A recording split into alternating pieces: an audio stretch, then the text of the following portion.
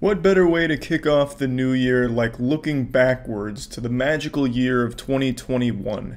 Let's take you back to the past to talk about a man who loved ass and cupcakes. I'm talking about EDP445. For those that don't remember, EDP445 was a massive YouTuber who in early 2021 got caught by a group of predator hunters for trying to have sex with a child. He got Chris Hansen and then recorded at the scene of the crime where he defended himself by saying he wasn't actually there to fuck a child, he was just there for some cupcakes and that kind of became his entire legacy. He's like the cupcake demon. Kind of like how the boogeyman was invented to scare kids into eating their vegetables. EDP is that cryptid, but for cupcakes. Like, hey, you better finish that cupcake. Your grandmother worked hard on it. If you don't, EDP is going to climb through your window tonight and talk to you about the Eagles or some shit. So his whole thing now is he's been disgraced and banned everywhere on the internet.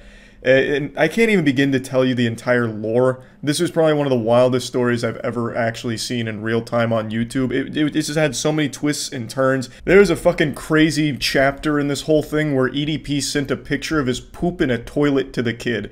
He, he like said, I ate a greasy pizza and took a fat shit, and then dropped a picture of his shit in the toilet bowl to them. Uh, uh it was a, it was a nutty ride. But anyway, since then, it's been radio silence for about eight months. No one's really known what's happened to him. There's been tons of rumors, of course, that would start like he's in jail or, you know, he's running for governor now or he went to space and now he's a space pedophile. You know, just all kinds of things with no evidence. And last night on stream, uh, chat made me aware of a new video that had an update with accurate information and a breakdown of the EDP story and where he is today. So I watched it last night on stream. That's twitch.tv slash moistcr1tikal. I stream every day. I'd love to see you there. I'll put the link in the description. Just please come on, swing by. I'm probably streaming right now. So I'll go ahead and play that for you now, and then I'm going to go over a bit more afterwards because I've done a little more research this morning on the situation. But just be aware that in the clips here, last night was New Year's, so there's a lot of fireworks going off in the background, so that's that banging that you keep hearing. Chat kept thinking I was kicking my desk, which confuses me because it's not like my desk is made out of nitroglycerin. It's not going to make like that kind of massive bang. So yeah, just a quick heads up there. The EDP445 video we're watching comes from YouTuber SunnyV2, who did a great job of researching the topic and getting all of the information out there. Okay, let's check on the EDP situation. Apparently he got arrested and went to jail, but this would be the first I've heard of that. So, let's see. EDP 445 has been fired from three different jobs over the last couple of weeks as a result of people exposing his employment to TikTok. He's a- What? Wait, really? Hold on, I didn't get a chance to read that Reddit thread. Did he actually try? Did he actually try and work at Chuck E. Cheese? There's no chance. Again, for those that don't know, EDP was the YouTuber who got exposed for being a, a pedophile or whatever, talking to kids and shit. He's most known for like the, the fist bump he tried to get from the, the predator catchers, as well as saying he was just there for a cupcake, even though there's like tons and tons of DMs of him confirming he was going to go there to try and fuck a kid. And then apparently now he he's been fired three times, and one of the places was Chuck E. Cheese. I don't. I genuinely don't believe that from a few different properties and he's now living out of a suitcase in a couple of unconventional crappy locations. He had like 3 million However, subs. How is he out of money? in the EDP 445 tragedy is that Did he give it all to a 13-year-old or something? One of his former YouTube 445 was caught in 4K on his way to pick up a cupcake. The topic was covered by almost everyone in the commentary community. I'm sure by now many of you Hey, let's go! The EDP 445 situation. Oh, creators who supported him in the past such as some ordinary gamers would let's go! We did that on stream needs to be arrested immediately. That was a wild Why stream. has EDP been dropping hard? Because EDP is an individual that actually got Chris Hansen. And after it was revealed his banning, EDP was exactly 30 years old. I like how it's being called the cupcake event. when he was 19 years old. So the 179 million views deleted in the process Whew. meant that his entire portfolio of work completed in his 20s, 10 plus years worth of labor, was wiped out quite literally overnight. One mistake was all it took for YouTube to decide that EDP 445 It wasn't one mistake though, right? As he mentioned mentioned there was a history of mistakes, but this was the biggest. The Charlie from 24 Hours in the Future, I decided to look into the other cases because as mentioned in the video, there was a lot of previous allegations, even before this one, of EDP engaging with minors in inappropriate manner. So I looked into all of those, and for about a full year, a lot of evidence was surfacing that EDP kept flirting with and trying to hook up with underage fans. But somehow, for all of 2020, it all kind of flew under the radar and wasn't made a big deal. And it's not because he did a good job of defending himself, like his defense wasn't bulletproof or anything. He's no Saul Goodman when it was brought to light a few times during live streams, all he said was a bunch of no life, no pussy getting motherfuckers kept pretending to be girls and my dumb ass fell for it. And that's it. Like that that's how he brushed it off. He basically just confirmed like, "Yep, I, have I've been talking to people I believed were underage girls." And then that was it. That that's where it stopped. So I'm surprised it wasn't a bigger deal before this investigation, but this was definitely the most thorough with the most evidence and actually going there in person and catching him in 4K. But I'm just shocked that it took this long with all of these allegations out there. So, as mentioned in the video, it was not just this one mistake. He had an entire history of doing this kind of shit. Vimeo account was deleted, another income stream had gone up in smoke. EDP445 then attempted to switch to Facebook. However, after gaining 6,000 followers, yeah, so that was real. That was really his was page. The same story over on Instagram. His someone told us, well, not someone, a bunch of people told us he made a Facebook page after the cupcake event, and I didn't believe it because when you went to the Facebook page, like one of the only things there was like, what was it again? It was we watched the video. It was some like really goofy video. I think it was even just talking about football or something, and then he casually mentioned he wasn't a pedophile while talking about football. He's like, "Yeah, the Eagles are going to go all the way this year. Not a pedophile. Yeah, I just really have a whole lot of faith in the in the Eagles. They're going to fly."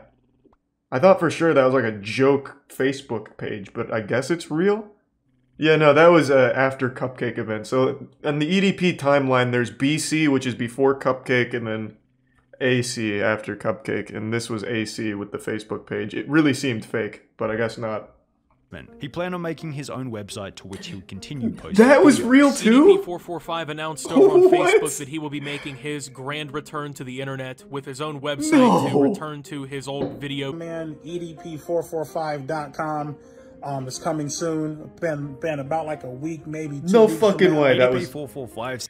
Uh, again, so we've been we've been in this in this lore for a minute, playing in the playing in the pig pen with all this this exposition here in real time. The the website I also was told was previous clips from older videos where he mentioned wanting to start a website. This was not after the cupcake tragedy. But I I guess that was inaccurate. So he really after getting banned everywhere tried to make the EDP website I don't know what the fuck would be on there besides like I don't know baking recipes or some shit and then talking about the Eagles.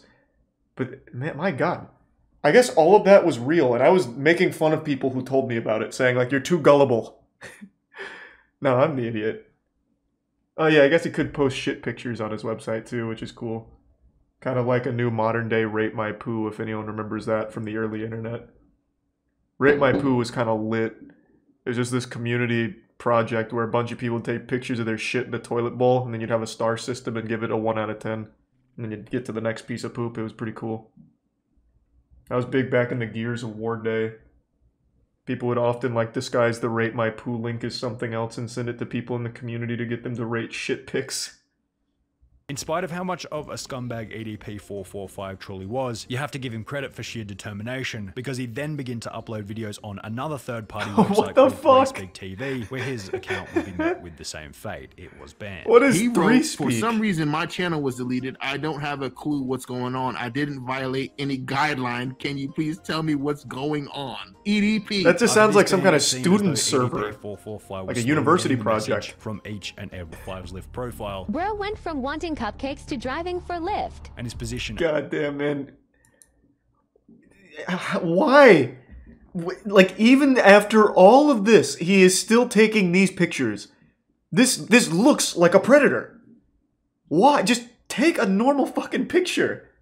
Driving for Lyft. and his position as a driver would subsequently be removed by the company. The situation would promote Reddit discussion, with one post stating EDP as a Lyft driver, how the mighty have fallen, which received commenting to a very basic unconfirmed source. EDP also apparently applied at Chuck E. Cheese. Okay, so that is definitely a lie. Didn't seem to get the position. EDP 445 no So that was definitely a fucking ability to lie. make money online or in. The strange part about this is that when you try and search the court register from the Reddit post by typing in his name, Bryant Moreland, it now states that there are no results found, possibly indicating that EDP 445's name change has been successful and he's no longer. Oh my God. Bryant Moreland. As you can see, I He could be anywhere now. Moreland Bryant. Submit.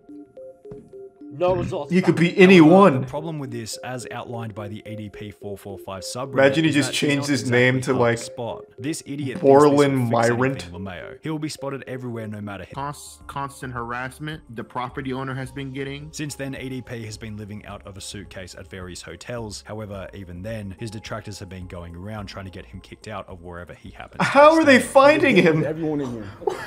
what?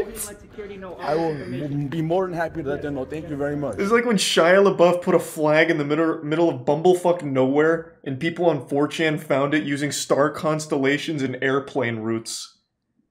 They're finding EDP in his suitcase across the, the country. A, a global game of Where's Waldo. They're passing out flyers and shit. Oh my god.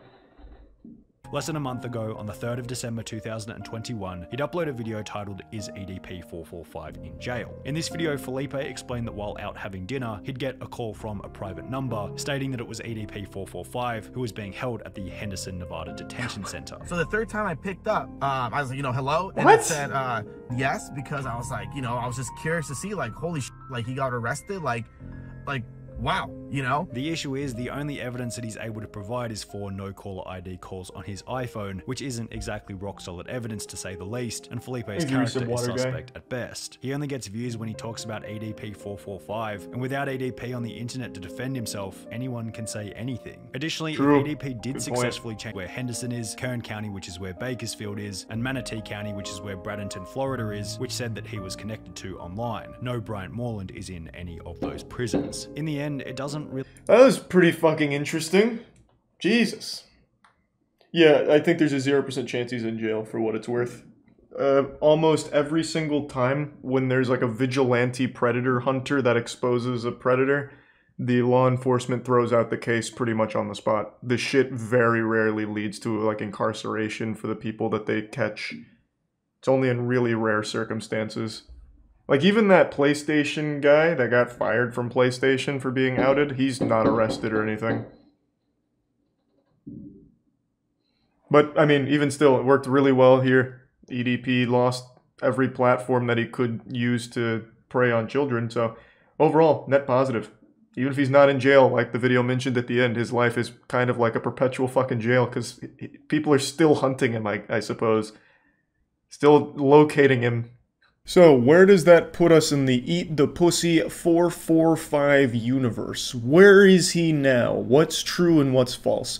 From everything I've been able to gather online, what's true is he has not been able to hold a job because people keep making the companies aware of his past, so they let him go. He has been evicted from the places he's tried to stay. He is struggling with money, which absolutely blows my mind because at 2 million subs and the amount of money that he'd be making at 2 million subs, he should have been set for life. So he must have a problem with spending money. Even though a lot of his content would get demonetized, he'd still have plenty because demonetized content still makes money and it's not negligible amounts of money. So those are all true. What is also true is he attempted to change his name, but what's unknown is whether or not that was successful. It seems like his name change has been successful, however, can't confirm nor deny that.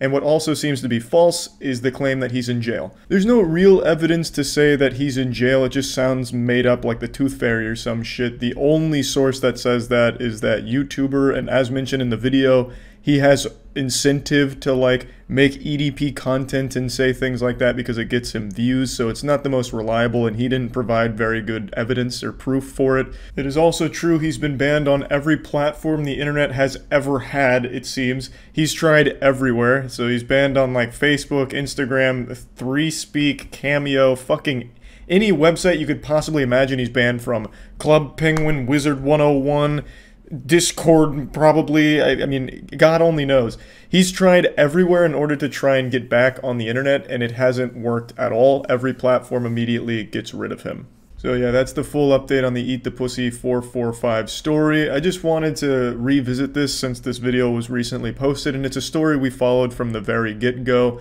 And uh, yeah, that's about it. See ya.